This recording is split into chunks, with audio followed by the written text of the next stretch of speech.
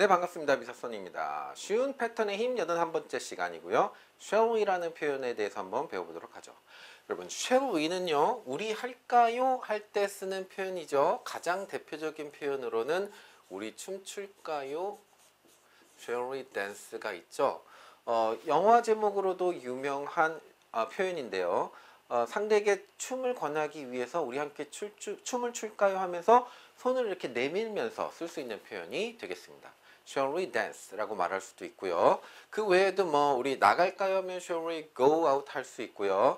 어, 혹은 뭐 어떤 표현이든지 함께 하고 싶은 게 있다면 shall we를 쓸 수 있습니다. 우리 가, 함께 숙제할까? Shall we do homework together? 이렇게 말할 수도 있겠지요. 자, 난데없이 등장한 shall이라는 표현에 대해서 한번 생각해 볼 건데요. 얘는 will이라는 표현하고 비교해서 한번 생각해 볼 필요가 있어요. will은 우리가 미래에 대해서 항상 자주 쓰는 위, 어, 표현인데요. 둘 다 조동사죠. 어, 그런데 이 옛날 고대 영어에서는요. 고대 영어라고 말해도 되는지 모르겠지만 어쨌든 옛날에는요. will하고 shall이 어, 둘이 같은 의미로 혼용돼서 사용됐어요. 예를 들어서 I 다음에는 will을 써라. you 다음에는 어, shall 을 써라.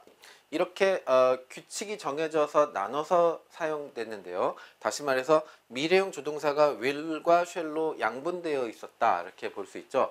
그러면 머리가 되게 복잡하죠. 위 다음에 뭘 써야 되지? 막 이렇게 생각해야 되는데 다행히도 현대 영어에서는 뭐의 완승인가요? will의 완승으로 끝났습니다. 그래서 우리는 미래 하면 그냥 will만 계속 쓰면 다 맞죠. 그러면 shall은 이제 역사 속으로 사라질 운명에 처해 있는데 유독 이 표현에서만은 shall이 명맥을 유지하면서 어, 남아 있는 거죠.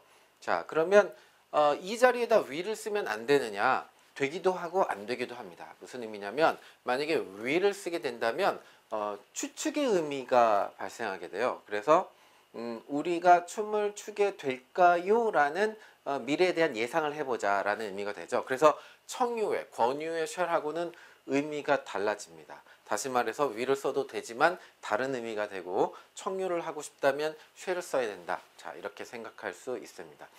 자, 쉘에 대해서 마치기 전에 한 가지 더 설명드리고 싶은 게 있는데 어, 사실 어, 현대 와서 어, 영어의 어떤 어, 영어 가장 널리 쓰이는 미국에서는 어, shall이라는 표현이 자주 안 쓰이고 있어요. 어, 이거 대신에 다른 표현들이 있죠. 이를테면은 How about we dance?라고 말할 수도 있고요. Let's dance라고도 말할 수도 있죠. 어, 그런데 이 영어라는 언어가 꼭 미국에 한정되는 게 아니고 어, 전 세계적으로 쓰이는 공용어라는 입장에서는 shall은 당연히 어, 어, 많이 사용되는 표현이라고 볼 수 있습니다. 음, 언어라는 게 어, 어떤 세대에서는 각광을 받고 어떤 세대에서는 어떤 표현이 이 배척을 받고 하는데요. shall이라는 표현이 현재 미국에서는 그런 상황이다라는 얘기니까 우리가 이제 영어를 공부하는 거하고는 그 관계가 없는 이야기일 수도 있겠네요. 자, 그래서 shall을 이용해서 어, 우리 함께 영어를 해볼까요? 라고 말하자면 Shall we study English together? 라고 말해볼 수 있겠습니다.